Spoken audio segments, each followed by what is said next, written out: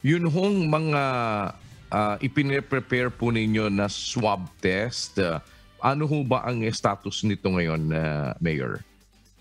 Ah, mabuti na natanong niyo yan, no? Um, hindi ko malimutan yan.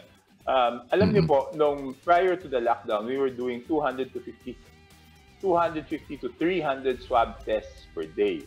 Nung beginning mm-hmm. ng lockdown, July 16, um, umakyat kami sa 500 swab tests per day.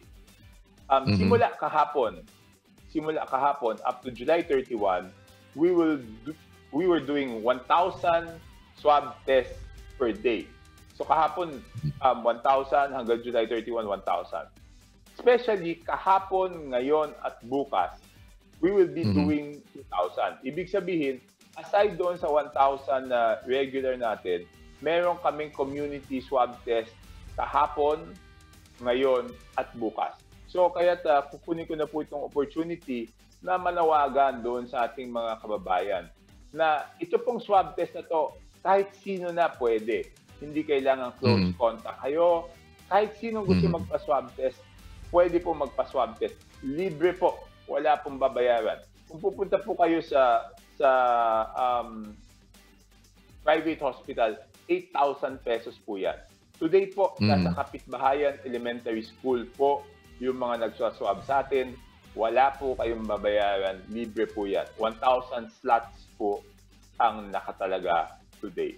At syempre, bukod pa so, po yung dinadala namin sa palasyo. Alright, so ito po ay for Navotas residents lamang, na Mayor?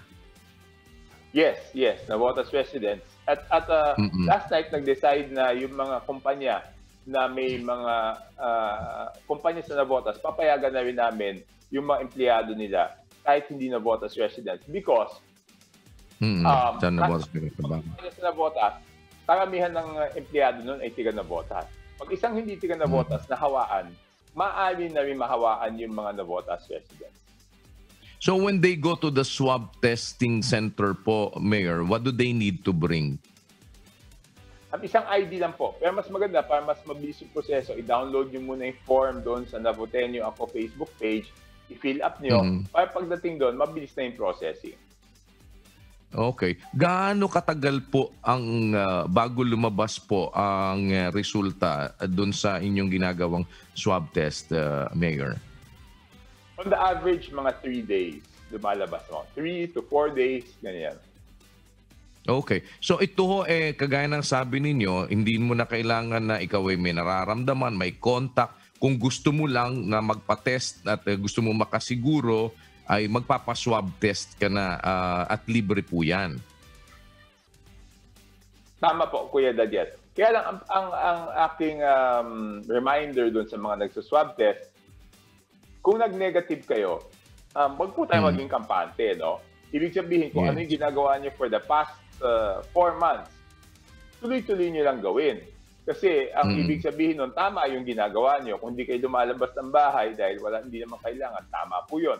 Kung lumalabas mm. kayo ng bahay, yung pagsuot nyo ng face mask, yung social distancing na ginagawa nyo, tama po yun. Pero huwag tayong maging kampante dahil ang ibig sabihin lang naman ng test ay negative kayo doon sa araw na kinunan yung test. Hindi ho ibig sabihin yan na negative kayo forever. Mayor, yun ho bang uh, resulta po niyan ay maaari kayong makapag-issue ng certification that can also be used uh, by your residents para po dun sa kanilang mga clearance sa trabaho nila, Mayor? Yes, definitely, Kuya Daniel. But uh, of course, may yung ibang mga work yata, kailangan 14 days, uh, kunyari mag-apply ka or yung iba pag magta-travel ka, dapat yata um, 14 days prior to your travel. Eh. Parang ganun ang intindi ko dyan. Mm-hmm. Mm-hmm. Definitely, well, we can issue the health uh, clearance.